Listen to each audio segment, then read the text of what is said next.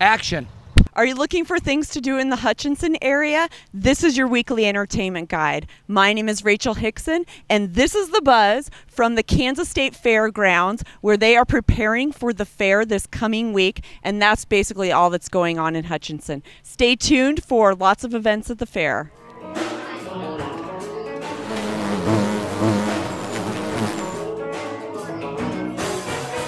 We are at the Nex-Tech Wireless Grandstand where they are setting up for the concerts that are coming up this week. First up on Friday is Loverboy and Survivor, two hot 80s bands. On Saturday, popular country artist Josh Turner will perform here. On Sunday, the Texican rock and roll band Los Lonely Boys, that you can remember had hits in the early 2000s, will be here. Monday, there will be a demolition derby.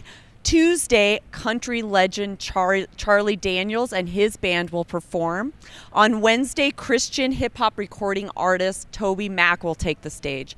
All of these concerts will start at 7:30 p.m. There are still tickets available. Go to kansasstatefair.com for more information and to buy tickets.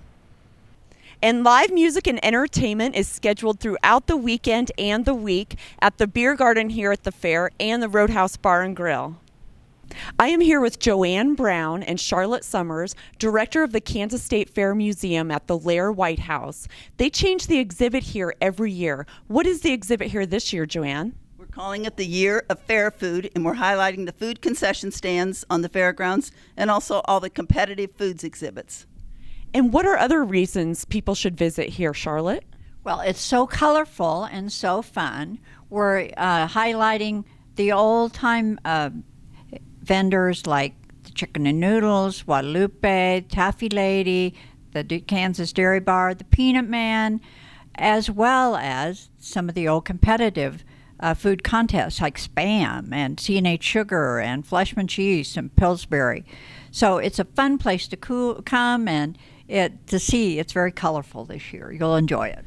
It is. So stop by, check it out. It is free and it is very air conditioned. It feels really good. Thank you guys. We are under the Nex-Tech Wireless Grandstand where the Kansas Dairy Association Dairy Bar has been completely rebuilt this year. This is Terry Schwartz, a Carlton dairy farmer who actually also has a degree in architecture. He is a member of the Kansas Dairy Association and he is responsible for designing this entire building. Tell me about the first phase, Terry. Well, what we tried to do is represent a typical Kansas dairy operation. We started uh, thinking about this project about a little over a year and a half ago, and uh, phase one was developed, and we built it last summer. Phase two, that we just finished this year, started right after the fair last year. And this year, this was actually taken all the way down to the concrete and completely rebuilt. Tell me what your inspiration was for this, Terry. Well, the idea was to go back into the 50s and 60s, the the retail outlet for all the the ice cream bars and, and stands that were available in the country. Once we got started on the, on the design concepts, we we carried it through to the construction that we're just finishing up now. All right. Well, it looks beautiful and it is not completely done yet. They are installing televisions where they will be displaying products and other things. And there will be a ribbon cutting to celebrate the opening of the new dairy bar at 11:30 a.m. on Friday.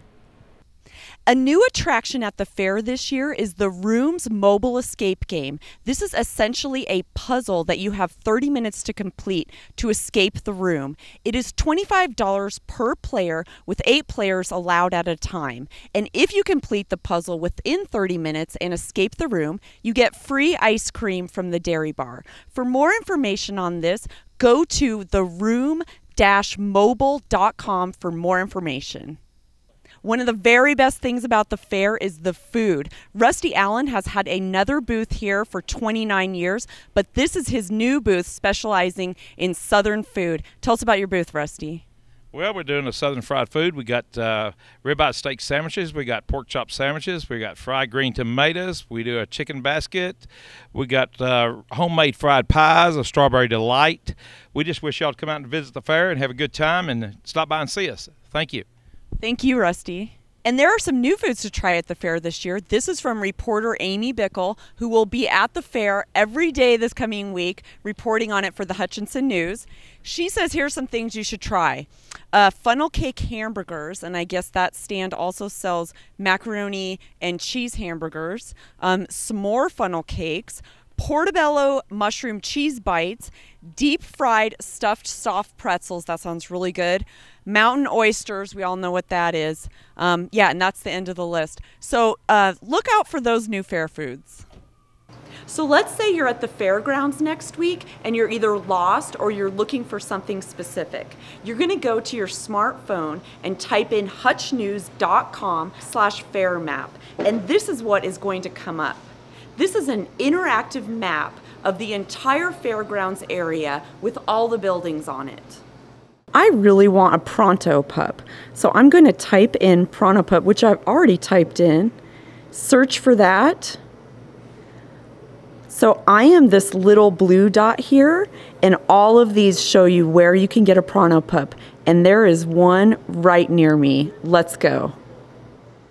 This has been another edition of The Buzz. Stay tuned to the Hutchinson News for extensive fair coverage starting on Friday, and have a great weekend.